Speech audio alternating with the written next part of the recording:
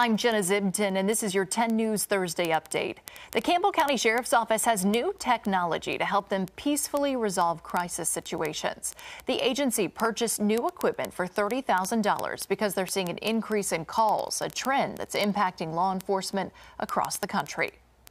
Gas and grocery prices will likely not go down anytime soon. In the coming months, you might have to pay even more. New federal forecasts show food prices will likely keep climbing. The USDA predicts grocery prices will increase up to 4% throughout this year. The average cost of gas could also rise.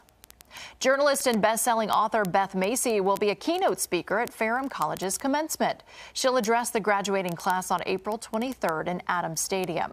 She's the author of books like Factory Man, True Vine, and Dopesick, which was also turned into a TV series. You can always get your news, weather, and sports on the go with WSLS.com and the 10 News app. I'm Jenna Zibton, 10 News, working for you.